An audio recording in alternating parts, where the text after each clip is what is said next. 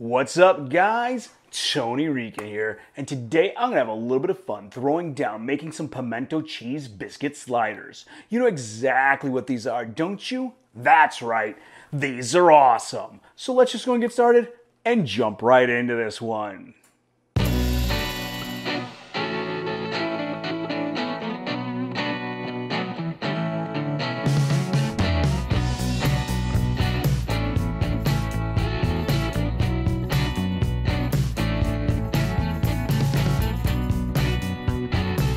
Remember, guys, if you love all the cool content I'm putting out on my channel, the easiest way to make sure it keeps on rolling and help the channel grow is just to hit like and share on this video. Drop a comment down below, then go and subscribe and share my YouTube channel. That way, every Monday and Friday, you get a brand new, really cool, simple recipe just like these pimento cheese biscuit sliders.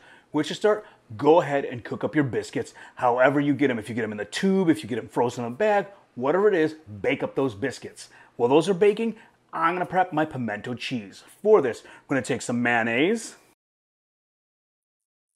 some relish, I'm gonna dice up a little sweet onion,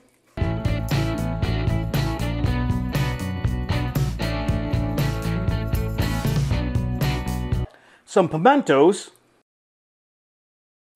some hot sauce, a little yellow mustard, some salt and pepper.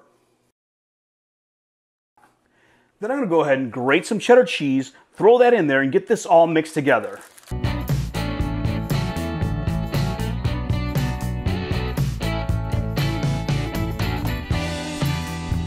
Once I have this all mixed together, I'm to go ahead and take this, pop it in my fridge for about 20 minutes while those biscuits bake, That'll allow these flavors to really meld together, and then we'll go ahead and move on.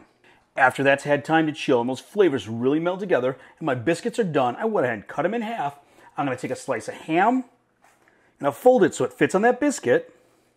I'm gonna take a heaping spoonful of my cheese.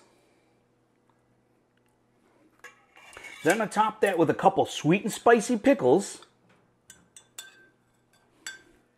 Boom. And there you go some simple pimento cheese biscuit sliders. Look at that. Freaking awesome. But you know, I can't just look at this. I gotta dig in and give it a try. Mmm.